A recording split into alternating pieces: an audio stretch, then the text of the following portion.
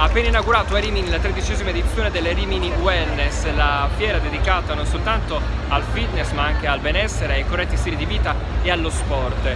268.000 il numero da battere, ovvero quello dei visitatori della precedente edizione. All'inaugurazione era presente anche la campionessa olimpica di discesa libera di Pyongyang 2018, Sofia Goggia. Che gratificazione è stata aver raggiunto gli obiettivi agonistici che ha raggiunto?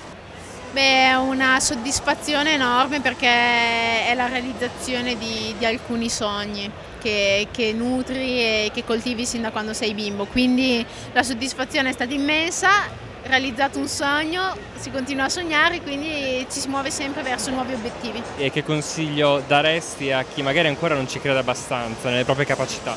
Bisogna trovare un proprio equilibrio tra quelle che sono le, le, le aspirazioni, le ambizioni e la realtà delle cose, perché non puoi essere un visionario, ovvero aspirare a qualcosa ma non muoverti per essa. Il 2018 dovrebbe essere l'anno in cui il percorso di avvicinamento al tema della quotazione dovrebbe concludersi. Naturalmente le conclusioni del conto economico di fine d'anno saranno molto importanti anche da questo punto di vista. Quindi consapevolezza delle difficoltà ma non indugiamo minimamente su alcuni aspetti di pessimismo che potrebbero esserci consigliati da qualcuno.